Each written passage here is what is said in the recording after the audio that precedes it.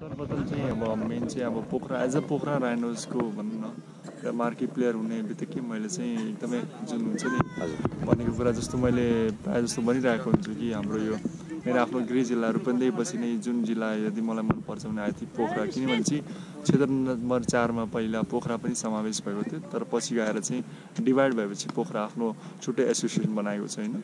र पोखरा चाहिँ प्रायः जस्तो अब मेरो साथीहरू आफन्तहरू पनि यहाँ नजिक छ होइन र मेरो गृह जिल्लाहरू पनिबाट पनि नजिक भएको कारणले चाहिँ मलाई चाहिँ पोखरा एकदमै मनपर्छ। र एज अ पोखरा राइनर्सको टिम क्याप्टन हुँदा पनि मलाई धेरै नै खुसी लागेको छ। किनभने चाहिँ अब यो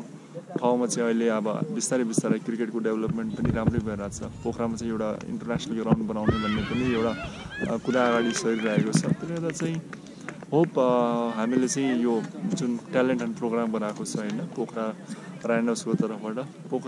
पोखरावासीहरूले पनि यो कुरालाई चाहिँ ध्यानमा राखेर चाहिँ पछि फ्युचरमा जुन हाम्रो टिमले जब इपिएल इभेन्ट खेल्नेछ त्यसमा चाहिँ हामीले चाहिँ एकदमै सपोर्ट गर्ने आशावादी छु।